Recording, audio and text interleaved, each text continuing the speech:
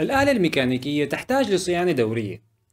وجسم الإنسان كلما تقدم في العمر زادت الحاجة للعناية به لرفع كفاءته فأقل ضرر يلحق بمفاصل جسم الإنسان من مرض أو إصابة يحد من حركة الشخص ويسبب الكثير من المعاناة المزمنة. في الواقع خشونة المفاصل والتهاب المفاصل هما وجهين لعملة واحدة من ناحية الأعراض فأعراضهما مشتركة. فكلاهما يسبب ألم وتصلب المفاصل وتورم وإحمرار. هذه الأعراض تقيد حركة المفصل المصاب وخاصة تكون أسوأ في الصباح أو بعد الراحة. وأيضا كلاهما يفتح المجال للآخر فخشونة المفصل تسبب الالتهاب والالتهاب يسبب الخشونة. ومع كل ذلك العلاج مختلف تماما. فكيف تفرق ما إذا كنت تعاني من التهاب في المفصل أم من الخشونة؟ السلام عليكم مقدمكم الدكتور فارس عرب. في حلقة سابقة شرحت ألم العضلات وأسبابه وكيفية علاجه. في هذه الحلقة شرح أكثر أمراض العصر شيوعا وهو ألم المفاصل. ولكن كيف نفرق بين الالتهاب والخشونة؟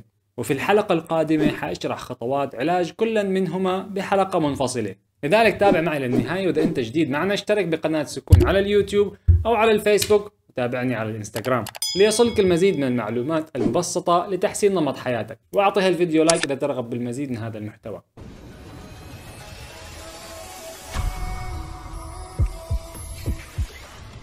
يطلق على مشاكل المفاصل بالطب مصطلح arthritis ولكنه نوعين والتفرقة بينهما نصف العلاج.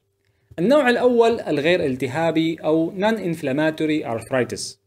وله عدة أنواع أشهرها خشونة المفاصل Osteoarthritis المشهور لدى كبار السن وهالنوع أكثر شيوعا من النوع الثاني وهو التهاب المفاصل Inflammatory Arthritis وهو التهاب ناجم عن فرط نشاط الجهاز المناعي. وأيضا له عدة أنواع أشهرها التهاب المفاصل الروماتويدي rheumatoid arthritis ولكن كلا النوعين يمكن أن يصيب أي مفصل في الجسم ويسبب ألم وتيبس وتورم المفصل. فكيف نفرق بينهما؟ الفرق الرئيسي بين الخشونة والالتهاب هو في جذور أسباب المرض وهنا مربط الفرس وهو وجود عامل المناعة الذاتي Autoimmune Disease. فسبب خشونة المفاصل أو Osteoarthritis هو العوامل الخارجية والاستخدام الجسدي. إما بسبب كثرة تكرار حركة تنهك المفصل أو تطبيق قوة خارجية تضغط على المفصل فيحتك سطحيه ويتآكل مع مرور الوقت. اهتراء الغضاريف المغطية لسطح المفصل يسبب تهيج كبسول المفصل وبالتالي تورم للمفصل الذي يخطئه الشخص بأنه التهاب المفاصل. خشونة المفاصل هي غالبا بسبب عدم توازن الحمية وزيادة الوزن أو التقدم في العمر والإصابة المباشرة على المفاصل.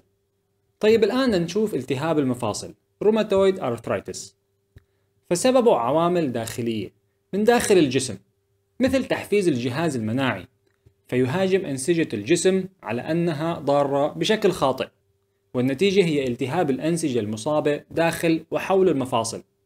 وبنفس المبدأ عوامل الالتهاب تسبب تآكل المفصل ومن ثم خشونة. يا دكتور انت دوختني.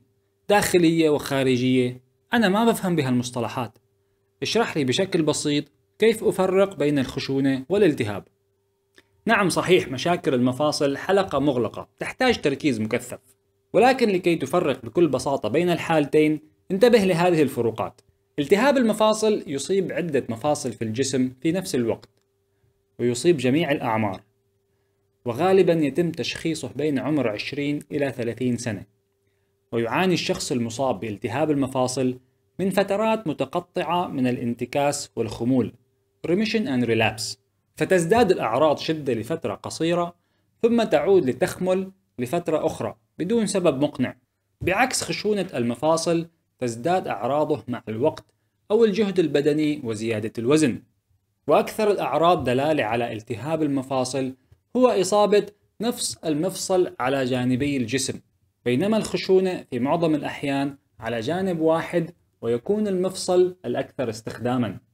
وأخيرا الفرق الرئيسي بين التهاب المفاصل والخشونة هو أن الالتهاب يتضمن مجموعة من أعراض الالتهابات الجهازية وهي أعراض تؤثر على كامل الجسم مثل التعب، الحمى، فقدان الشهية، فقدان الوزن، التهاب في الجلد أو العينين أو الرئتين والقلب.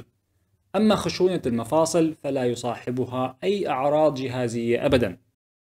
الأنواع الأكثر شهرة لالتهاب المفاصل ما يلي النقرس أو ال gout التهاب العقد الليمفاوية الذئبة الحمامية lupus التهاب المفاصل الصدفي psoriatic arthritis التهاب الفقرات التصلبي ankylosing spondylitis والالتهاب الروماتويدي.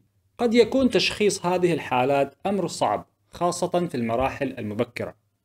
وذلك لأن الأعراض غالبا ما تتداخل لذلك يطلب الطبيب هذه الفحوصات التشخيصية لتأكيد الإصابة بأي أمراض التهاب.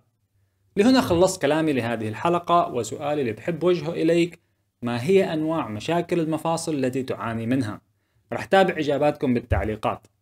لا تنسى تلقي نظرة على المصادر بصندوق الوصف. تابعني على اليوتيوب أو على الفيسبوك والإنستغرام. بإمكانك الآن دعم القناة ماديا كصدقة جارية إما عن طريق الانتساب بالقناة أو موقع باتريون الرابط بصندوق الوصف.